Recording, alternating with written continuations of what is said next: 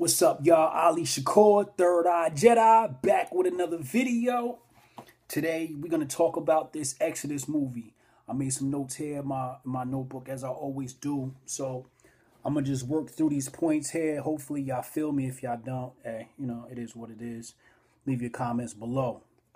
So, my timeline has been blowing up with this whole Exodus movie thing. Uh, my first question is why? Why is everybody so shocked at this? This makes absolutely no sense. We're dealing with the people who have completely whitewashed our history.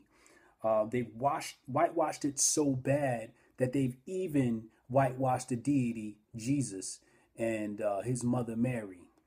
If you go into Europe, you'll see pictures of the Black Madonna. We all know these images was black at one point the other day I went to uh, Barnes and Noble and I wanted to pick up this book for my son that was about Egypt. I picked it up and all the images in it was of white people. And this was in Barnes and Noble and this was before this whole movie thing was coming out. This stuff is nothing new. Your history books is all whitewashed. So for y'all to be protesting one movie is absolutely asinine. It's absolutely ridiculous. We need to protest the whole entire system. But let me go ahead and just uh, act as if I'm going to play along with this whole thing, right? So, all right, fine. Y'all want to boycott this movie, right? Um, actually, hold on. I did have another point I wanted to make about why. Um, and the other thing is the fact that technically, if we want to go by what a lot of these black scholars are saying, white people are technically African whether you want to go by the Dr. Yakub story or the evolution story, either way, all life originates in Africa. So technically, white people have just as much rights to uh, these images of, of Africa and Egypt as we do, even though they're misconstruing the visuals. Also, we're not the ones making these movies, so how can we control what's in these movies. We're also not claiming Africa. We're not claiming Egypt as Africa. We're not even claiming the style of dress of our ancestors. All we rock is Nike and Polo. So, of course, they're going to come take our culture because we don't want it. We're not representing it on our daily life. When you go over there and you deal with them Arabs in Dubai, they got million dollar cars, but they still got their same dress as their ancestors. You can't steal that culture from them because they live it every day. We not claiming it. I think the last brother that put out a movie um, about black people in Africa in a positive light was Eddie Murphy. And this was back in early 80s. And that was a comedy. So I guess the only way they're going to let you tell the truth about Africa is if you make it a joke. All right, so let's move on here. All right, so I'm rocking with y'all. Y'all want to boycott? Fine. I'm all I'm all for boycotts. I've been waiting for a good boycott. But we gotta understand is that using the hashtag boycott Exodus is not gonna do anything but increase their bottom line. It's going to increase their sales. Um, in marketing, what we worried about something called brand awareness, and brand awareness says that people can't buy your product if they don't know about it.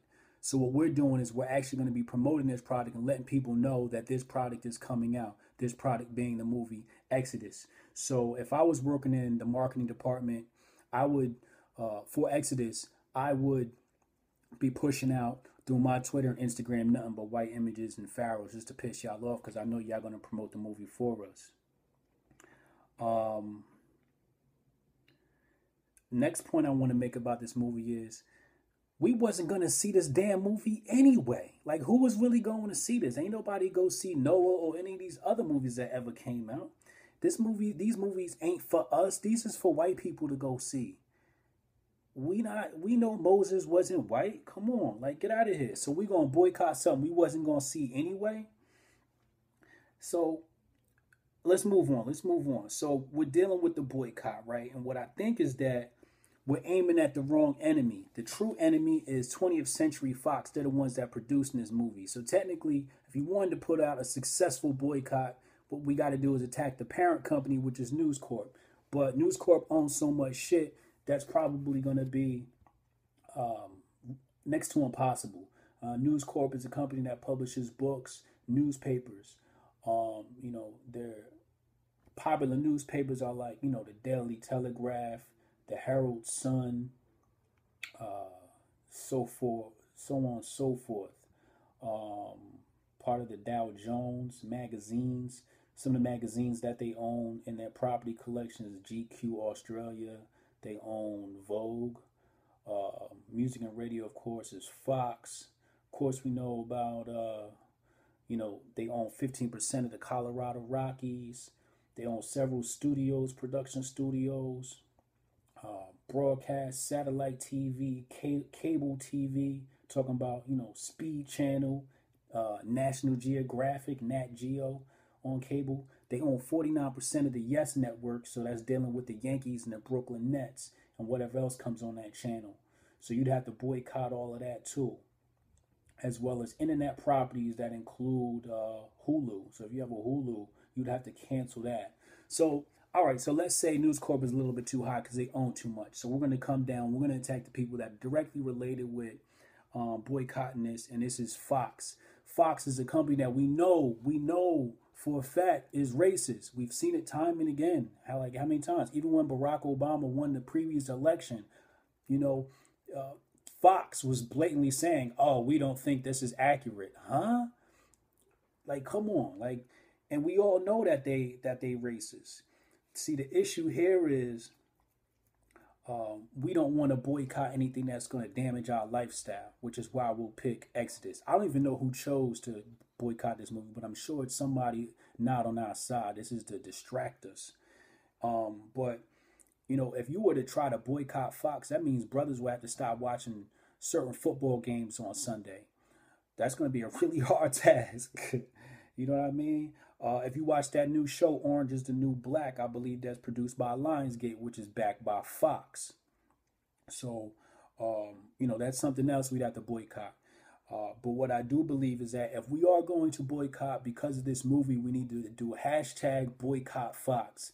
Please spread the message, educate people, whether you educate them yourself, whether you show them this video, whatever it is, educate people and let them know it's boycott Fox, not Exodus, because we don't have no problems with that dumbass movie. That movie does not represent us. That movie is uh, based on fiction.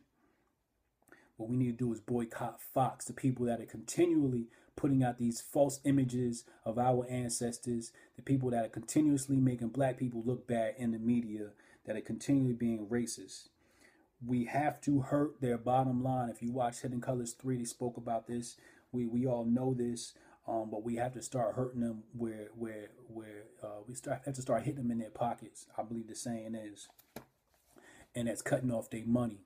So if y'all really want to make any impact, boycotting the Exodus movie is not going to hurt their bottom line. It's going to help their bottom line. But if we were to boycott Fox as a whole, in that situation, we could really get people to pay attention.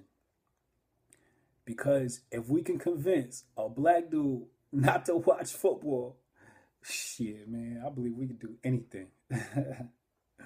Ali Shakur, Third Eye Jedi. Make sure y'all subscribe to the channel. Boycott Fox. Boycott Fox. Hashtag boycott Fox. I'm not participating in no hashtag boycott Exodus. That's stupid. Peace.